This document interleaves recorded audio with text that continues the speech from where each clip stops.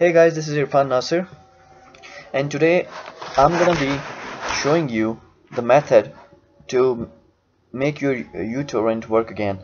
So uh, most of you will be using Norton security antiviruses like me and uh, you have been uh, just uh, facing the difficulty or facing this issue that uh, you are you are not able to download any app or any movies or games etc because your uTorrent is being blocked by the antivirus so I had the same issue for few for few months and I didn't realize how to just solve it. I tried to tried on installing the app and installing again but it didn't work. So so in this video I'm going to be showing you how to make your uTorrent or any other app like your uh, Baidu hotspot like I have work again. So what you're gonna do is you're gonna just right click on the uTorrent app and just go to the Norton icon or the logo there you will see scan now and file insights.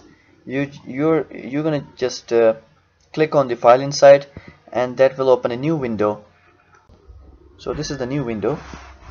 As you can see the status of this app uh, is good. And uh, I have not yet trusted this app. So the my antivirus won't let this app to run or download any app. So so now you just have to go ahead and click on the trust now button so it will make the file or the app trusted.